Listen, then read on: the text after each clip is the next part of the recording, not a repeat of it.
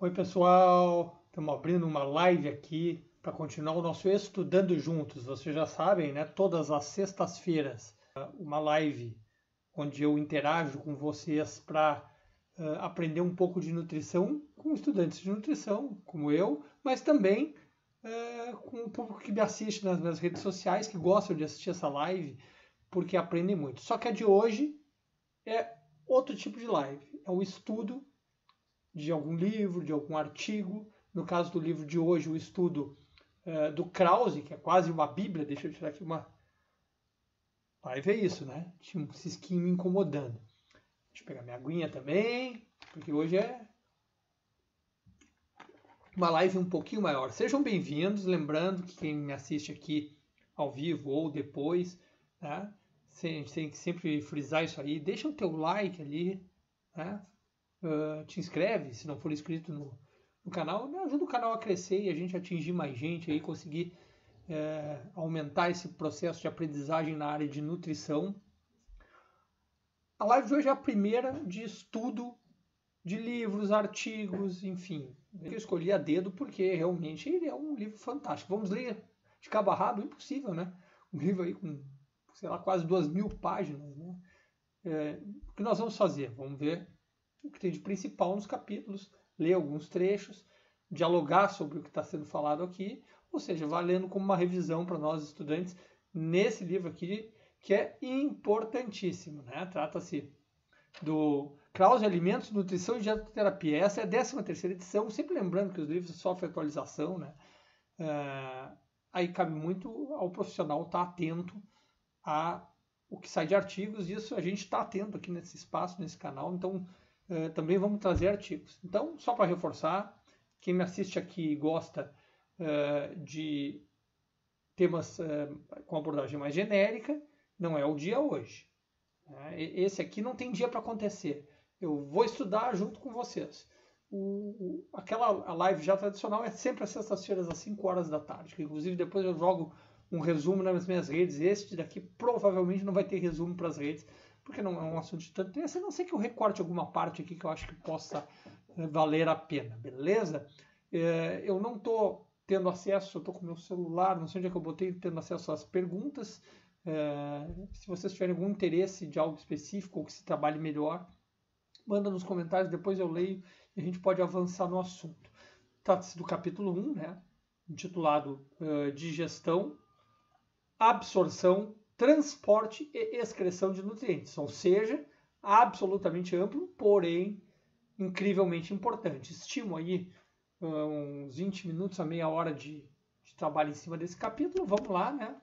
Sem mais delongas. Eu gosto muito desse livro. Um dos motivos é justamente a maioria dos livros tem essa prática, mas esse aqui especificamente ele já começa com os termos-chave. E eu gosto de lê-los porque a gente começa a ver aqui o que está firme na cabeça da gente, o que está um pouco esquecido, e até o que a gente não sabe, para depois, ao longo do capítulo, rememorar e reavivar na nossa memória. Por isso que a gente tem que estar tá constantemente lendo, né, moçada? Vamos lá, então. Os termos-chave desse capítulo, vamos ler todos. Transporte ativo, quem não lembra lá da fisiologia, no início da, da nossa jornada no curso de nutrição, né? Amilase, vamos abordar aqui. Borda em escova, isso aí acho que vocês já sacaram, né? Que tem a ver lá com as microvelocidades. Mas enfim, vamos só passar os nomes aqui e ver se a gente o que, que a gente associa. Quelação, uh, colecistocinina, a, a famosa CCK dos atletas, né? Quimo, muito importante, né? A gente sabe como é que se chamam os bolos alimentares, né? Uh, salvamento colônico, isso é importante, está muito em voga atualmente, né, moçada? A colonização uh, de bactérias do, da, da, nossa microbiota, né? muito importante. Circulação enterohepática, tá todo mundo ligado aqui, né? Entero é o nome aquele que, se, que a gente dá para tá, o nosso, nosso processo digestivo. Hepático, obviamente, nosso querido figadão, aquele que a gente maltrata. Eu não maltrato mais no final de semana, mas muitos de vocês maltratam, né? Difusão facilitada lá da fisiologia, né? Eu vou passar rápido a parte da, essa parte da fisiologia, não vou me atentar muito isso aí, já tem que estar na cabeça da gente, né? É quando a gente tem uma construção, tem uma base, se bota o cimento, isso aqui faz parte do cimento, né? O resto depois é para aplicabilidade. Gastrina, lactase, muito em voga lactase, maltase, atletas devem se interessar pela maltose, a maltase fica lá, na, uma enzima que fica lá na digestão, vai se envolver diretamente com, a, uh, com o suplemento de maltose, né?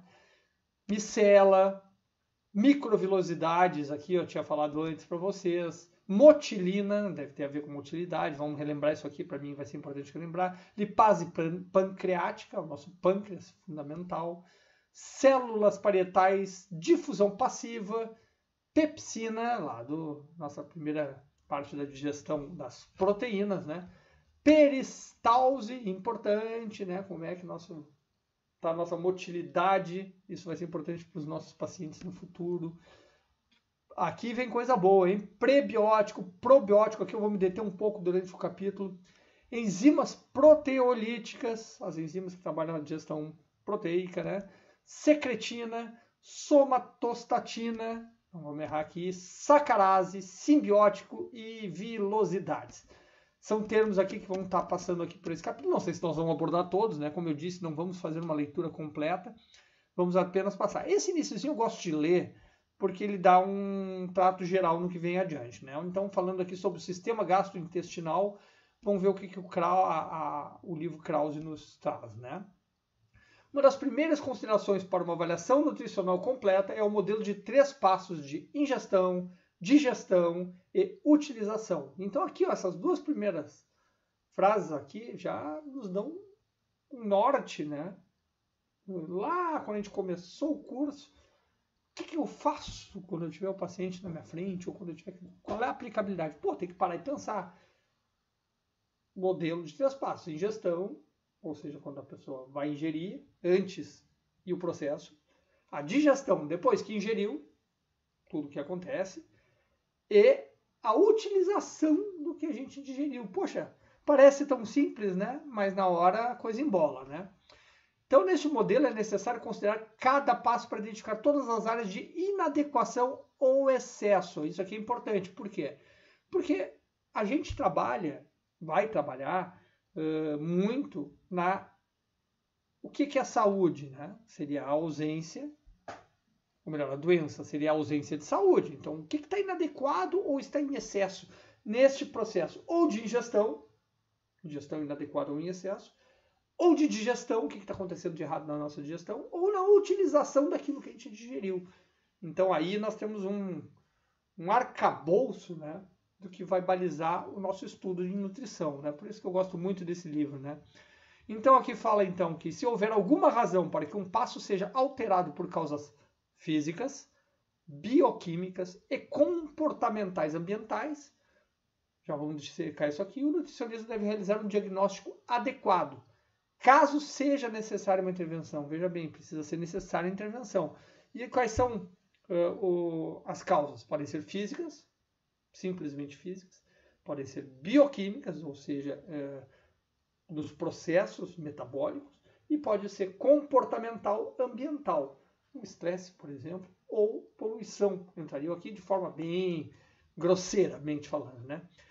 Uh, a ingestão e a absorção dos nutrientes devem ser conduzidas a um grau nutricional adequado. E aí, então, é a partir da conclusão de que é necessária a intervenção, o que a gente deve fazer.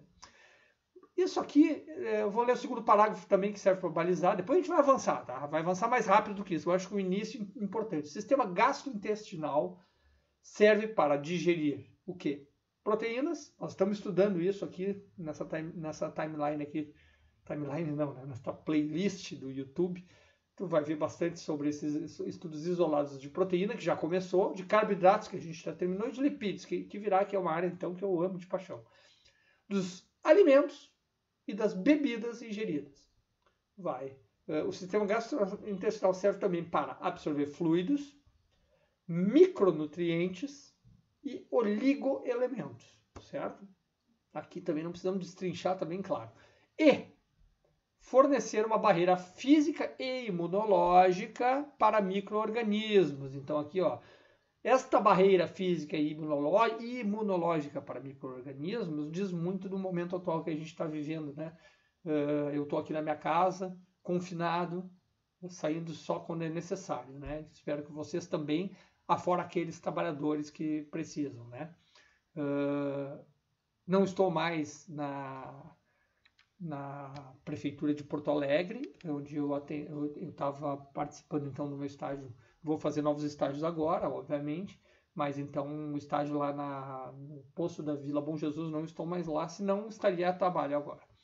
Ah, a ingestão e absorção dos nutrientes devem ser conduzidas ao grau nutricional, já falamos, aqui micro-organismos, corpos estranhos e possíveis antígenos consumidos com o alimento ou formados durante a passagem do alimento. Certo? Então, o que, que tu pode consumir um alimento já deteriorado, ou tu pode ter um problema durante a digestão. Né? Além disso, o sistema gastrointestinal desempenha diversas outras funções regulatórias, metabólicas e imunológicas que podem afetar o corpo inteiro. Bom, esses dois parágrafos aqui eu fiz questão de ler, porque eles são praticamente. Eu acho muito feliz este começo de livro aqui, de vários que eu já li, ou que eu estou lendo, ou que eu estou estudando, e esse aqui é livro de cabeceira de nossos futuros nutricionistas, porque esses dois parágrafos aqui eles são é, norteadores, né? eles acalmam a mente na hora de uma abordagem. Claro que a coisa é mais complexa, mas esse, essa, essa visualização eu acho muito importante. Vamos lá, então.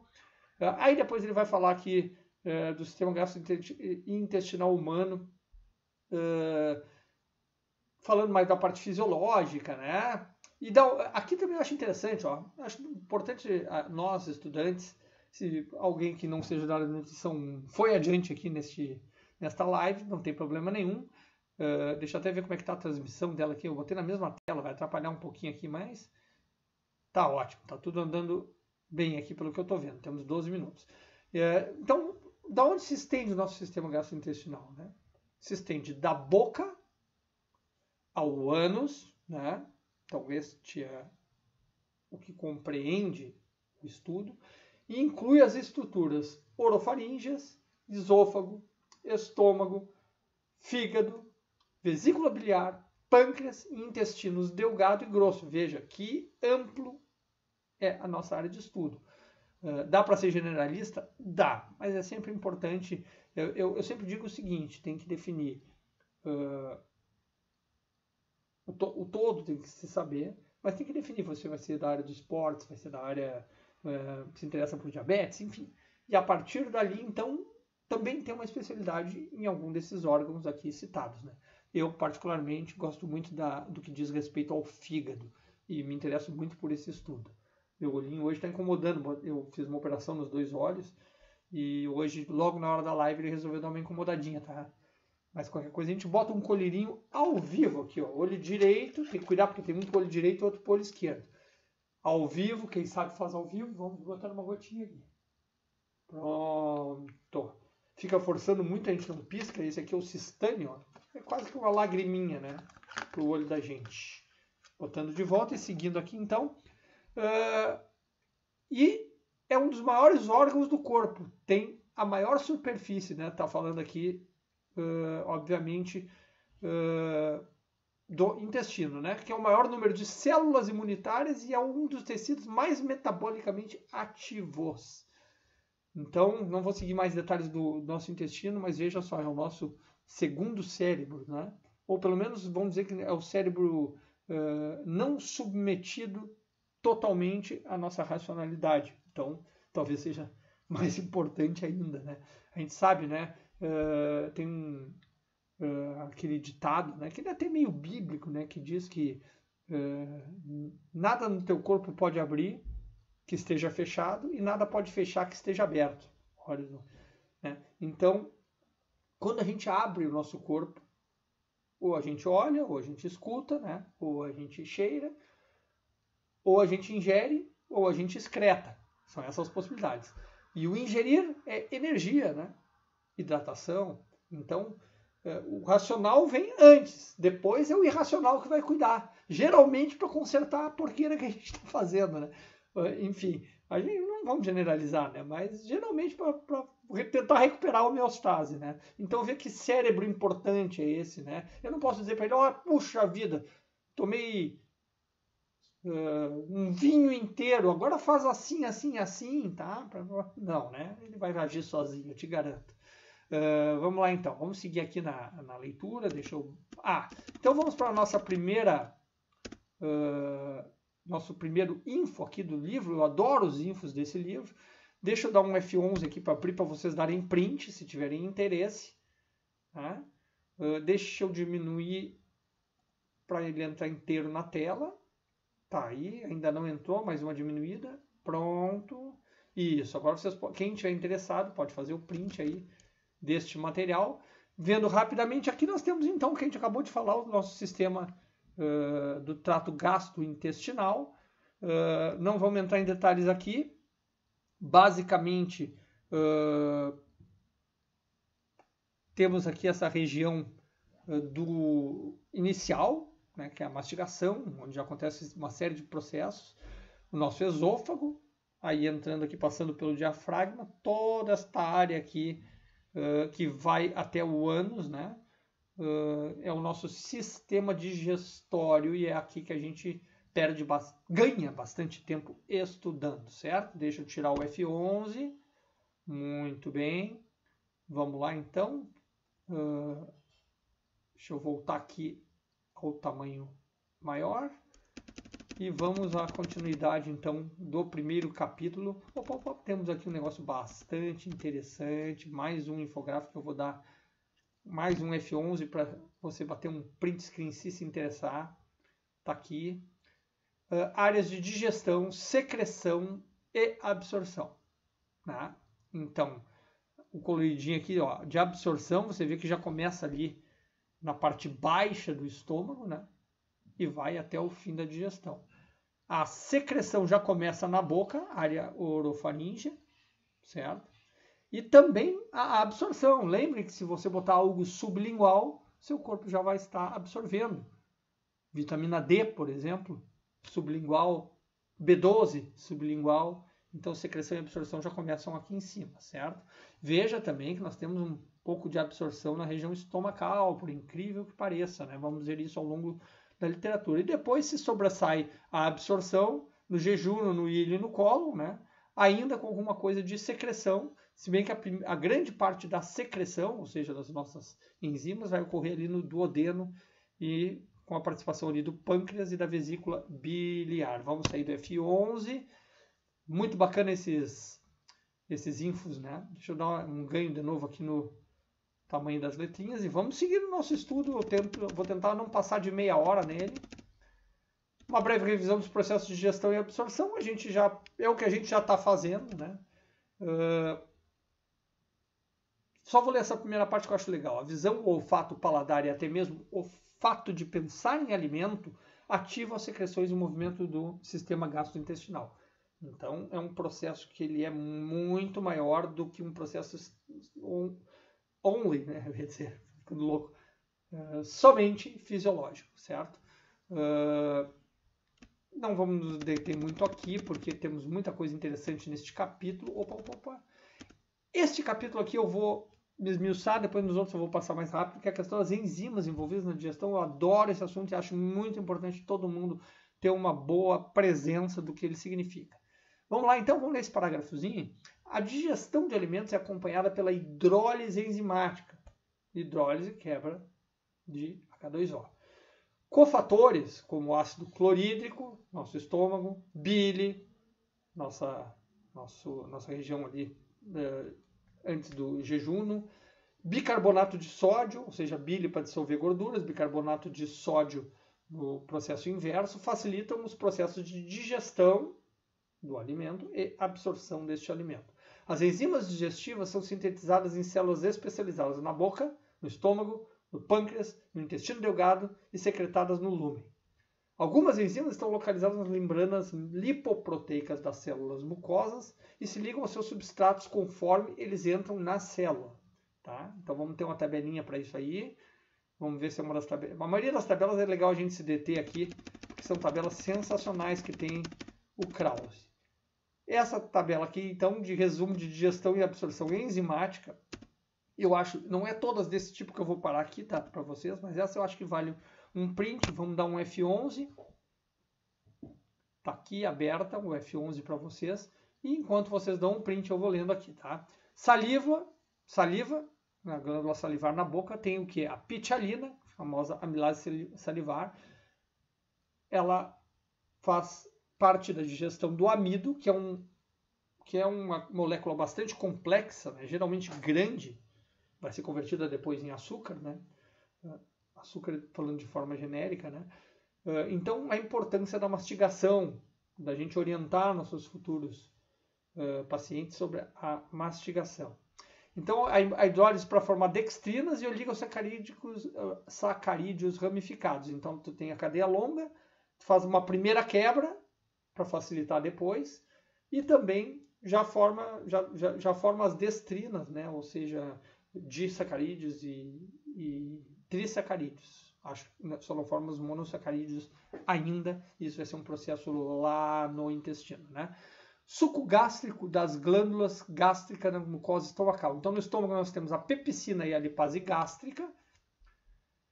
Uh, a pepsina é uma proteína na forma de ácido hidroclorídrico. Então, aqui a acidez estomacal presente, a hidrólise de ligações peptídicas para formar polipeptídeos e aminoácidos.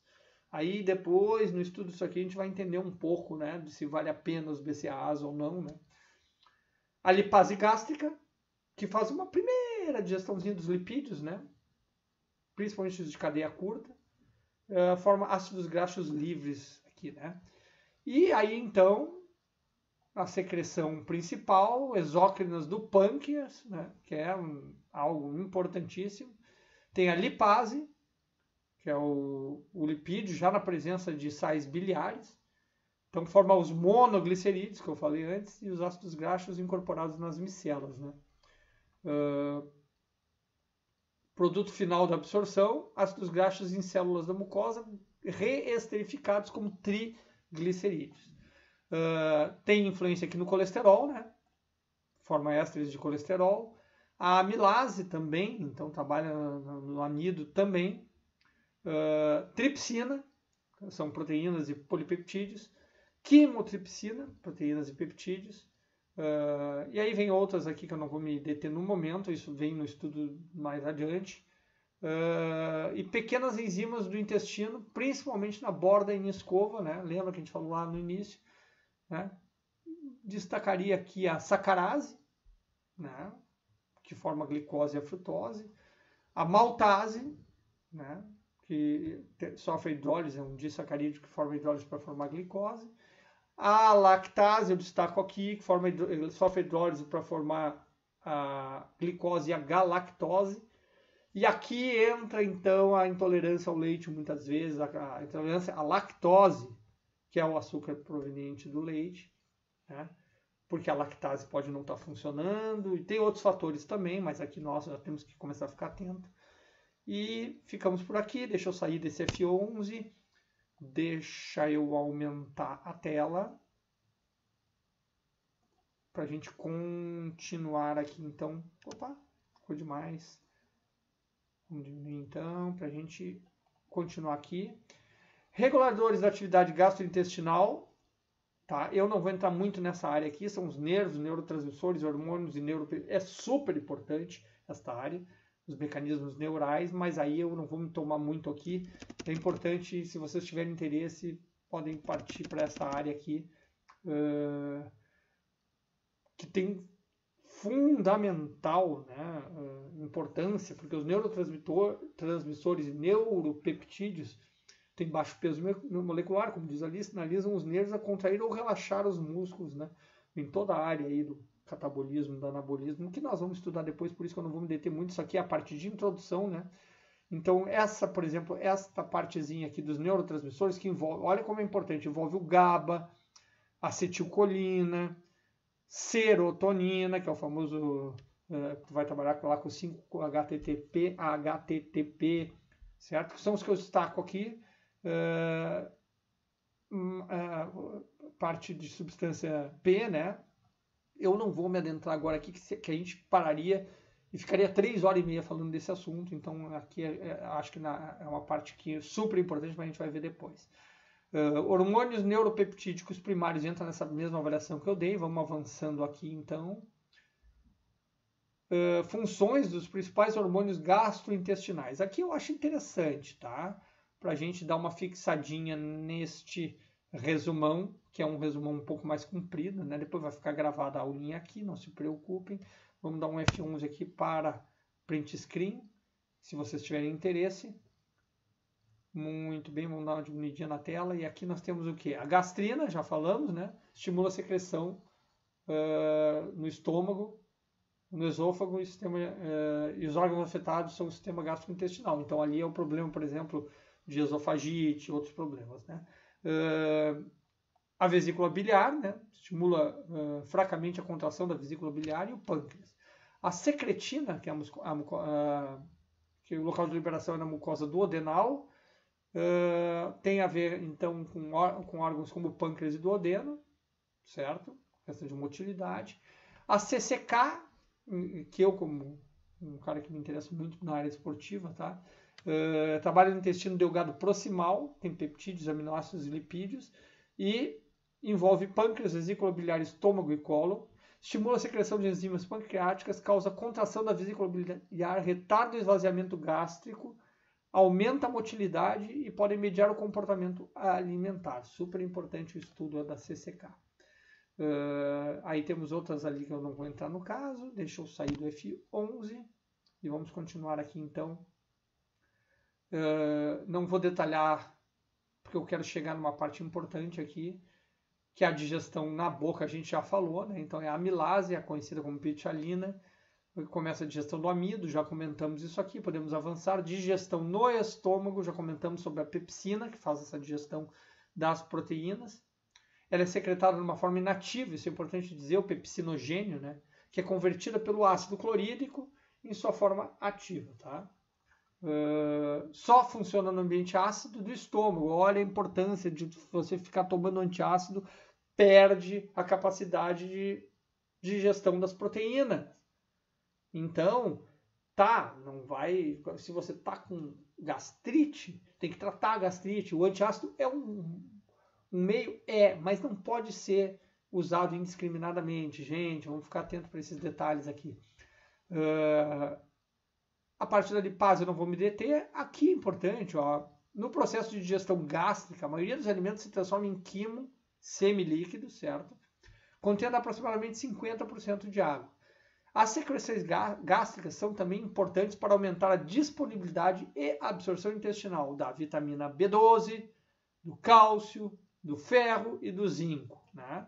Olha que importante esse dado, gente, também referente uh, à questão da medicação contra gastrite, pode afetar todas essas áreas aqui.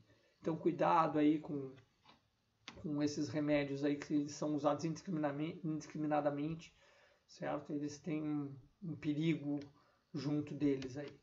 Uh, o pH estomacal é baixo, tá? uma média de 1 a 4, e as ações combinadas do ácido clorídrico e das enzimas proteolíticas do estômago resultam em uma redução significativa na concentração de micro-organismos ingeridos. Então, essa é uma primeira também proteção do nosso corpo contra micro-organismos. Então, se a gente tirar esta acidez por motivo de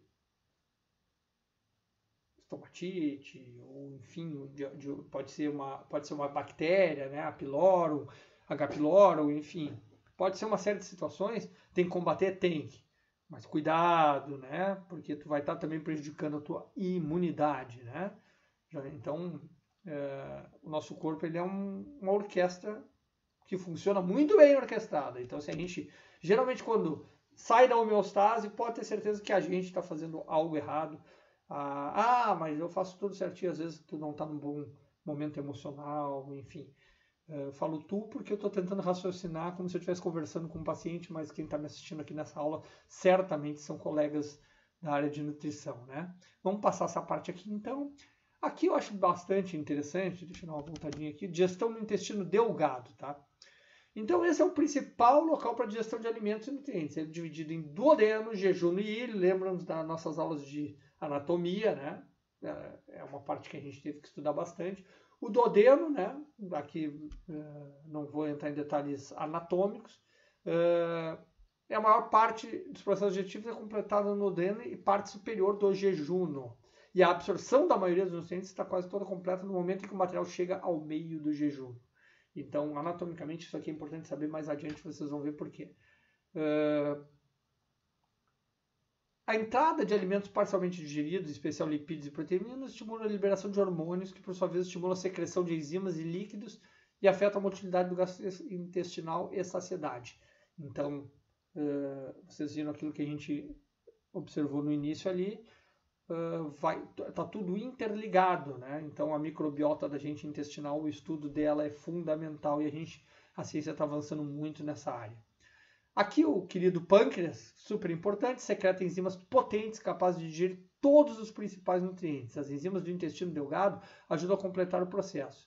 Quando entra em jogo aí a diabetes, quando entra em jogo uh, o processo falimentar do fígado, o pâncreas é um que toma uma porrada e aí tudo isso aqui desregula e olha, uh, não, não queiramos, né? In, uh, infelizmente receberemos muito paci muitos pacientes nessa situação, então é importante entender este processo. a questão da, do excesso alcoolismo, da esteatose uh, não, não alcoólica, né? a, a gordura hepática. A esteatose não alcoólica está rolando muito, gente, é uma praga. A obesidade, enfim, tudo isso daqui vai mexer com o nosso pâncreas. Uh, o conteúdo intestinal então se move pelo intestino delgado, uma velocidade, olha só que interessante, de 1 centímetro por minuto. São algumas informações. Uh, levando de 3 a 8 horas para percorrer todo o intestino até a válvula iliocecal. Isso aqui nos diz bastante, futuros núteis, e quem gosta da área de esportes também, de como lidar, né, de como periodizar, periodizar né, uh, pré-treinos, pós-treinos, entender o metabolismo da pessoa, se é mais lento, se é mais rápido, isso tudo tem que ser bem entendido. Olha que introdução legal do Krause, quanta coisa tem para estudar aí. Estamos avançando, daqui a pouco vamos terminar, deixa eu ver como é que está a transmissão. Uh, 32 minutos, eu tinha estimado 30, vai dar um pouco mais. Uh, o intestino delgado é o primeiro local de absorção, então a estrutura e função do intestino delgado eu vou direto aqui no infográfico, deixa eu abri-lo, botar um F11. Temos ali as microvilosidades que fazem, que tem que estar íntegras para uma boa digestão. São as células absortivas, né, o vilo, uh, Aí tem algumas outras células que eu não vou entrar em detalhes aqui. Uh, a mucosa, enfim, veias, vasos, artérias, e aqui então a gente tem a estrutura das, das velocidades do intestino humano, mostrando os vasos sanguíneos e linfáticos, não vamos nos deter nessa parte aqui. Uh, mas vale aqui esse dado, a cada dia em média o intestino delgado absorve de 150 a 300 gramas de monossacarídeos, 60 a 100 gramas de ácidos graxos, 60 a 120 gramas de aminoácidos e peptídeos e 50 a 100 gramas de íons. A capacidade de absorção de um indivíduo saudável excede em muito as necessidades normais de energia e nutrientes. Então isso serve para a gente pensar se não está havendo uma overdose de alimentação. Não estou nem falando de obesidade, certo? Falando se, se a gente aprender a selecionar a qualidade da alimentação, certamente a quantidade vai precisar diminuir por causa dessa capacidade absortiva que a gente acabou de ver no Krause aqui. Uh, a totalidade de, de 7 a 8 litros, menos 1 a 1,5 litros uh, secretados das porções superiores do sistema gástrico-intestinal, além dos 1,5 a 3 litros dietéticos. Então aqui também entra a questão uh, da quantidade de líquidos a serem absorvidos. Vamos avançar aqui, tem uma parte que eu quero me deter um pouco mais para a gente começar a encerrar Uh, o assunto, eu não vou entrar aqui na questão tá, de emulsão de lipídios, isso aqui vai ser mais adiante, a gente vai ver nessa, né, no, no, futuro desse estudo. Então, este, este infográfico eu vou passar batido nele. Né? Uh, mecanismos absortivos e de transporte é aquela parte da fisiologia que a gente estudou, vocês lembram, né? Difusão de transporte ativo. Isso é importante a gente conhecer uh, mais adiante nas prescrições que faremos, né? Mas aí então é uma questão que já passa da introdução, né? Eu acho importante o Krause ter abordado isso aqui, vale a leitura, mas não numa revisão, né? Isso aqui a gente já tem que estar tá sabendo, não faz parte de revisão. O intestino grosso, uh, que é composto pelo seco, pelo cólon e pelo reto, né? Uh, que vai fazer a absorção dos, principalmente dos fluidos, não só disso, né? A ação bacteriana, isso aqui eu acho bem importante. Tá? A microbiota intestinal compreende uma, uma comunidade complexa que envolve 400 espécies de micro-organismos, certo? Então, ah, o manejo desses micro-organismos é importante a gente saber. Então, eu vou parar um pouquinho aqui para a gente ver algumas bactérias, lactobacilos e fungos, né? Que colonizam o nosso sistema gastrointestinal. O desequilíbrio deles a gente consegue no futuro solucionar justamente com a reposição, o reequilíbrio. Né? Uh, temos aqui, uh, vou destacar aqui o Cloristridium, né? que todos nós conhecemos bem aí, uh, Enterobacteriaceae, que são os estreptococos, né? A, B, C, F e G, né? Os enterococos, né? Que são os estreptococos bovis, enfim, a Helicobacter, né? Tudo isso a gente tem ali, mas num ambiente uh, homeostático de equilíbrio, né? Se não estiver assim, estamos com problema. Normalmente, poucas bactérias permanecem no estômago ou intestino delgado após as refeições, por causa de ações do ácido clorídrico, certo? Pepsina e bile, que funcionam como germicidas. Olha, é importante desse conjunto estar bem funcionante. Uh, o Helicobacter pylori é uma bactéria com tolerância a ácido, que provoca infecção no estômago, podendo causar gastrite e úlcera no hospedeiro. A gente já falou sobre isso antes, né? Seguindo adiante aqui, então, vamos passar essa parte, eu quero ver aqui, ó. É isso aqui eu acho legal a gente dar uma lida, então, que entra na questão dos probióticos, dos pré-bióticos e dos simbióticos, né? Vamos fixar bem esses conceitos e a gente já vai estar praticamente acabando o capítulo. Os probióticos são alimentos ou concentrados de organismos vivos que contribuem para um ambiente microbiano saudável e suprem os micróbios potencialmente nocivos conhecimento de seu papel na prevenção e no tratamento de uma série de distúrbios gastrointestinais e sistêmicos tem se expandido notavelmente. Foi aquilo que a gente falou. Então, uh, saber uh, trabalhar os probióticos vai ser fundamental uh, no processo do nutricionista. E os pré-bióticos são componentes de oligosacarídeos da dieta, fruto oligosacarídicos, inulina, né? Que são os substratos energéticos preferenciais dos micróbios amigáveis. Então, tu envia para eles uh, alimento. Tu alimenta as tuas bactérias para elas te ajudarem, né? Uh, do sistema gastrointestinal. Quando prebióticos, outras fontes de fibras alimentares solúveis e outros carboidratos resistentes à digestão são fermentados por bactérias no ilho distal e no colo, eles produzem a GCC, que serve como combustível para a célula que revestem o sistema gastrointestinal. Também servem como agentes reguladores para várias funções gastrointestinais. Então, aqui nós vimos como enviar alimentos e concentrados de organismos vivos, ou como enviar alimentos para estes organismos vivos, e tem os simbióticos, que são uma combinação dos probióticos e prebióticos. Então, eh, essa introdução aqui ela é bem ampla, né? eu gosto muito dela, por isso que a gente está se detendo um pouco mais aqui salvamento colônico de fontes de energia mal absorvidas, né? Isso aqui eu não vou me deter aqui, mas é aquilo que a gente viu.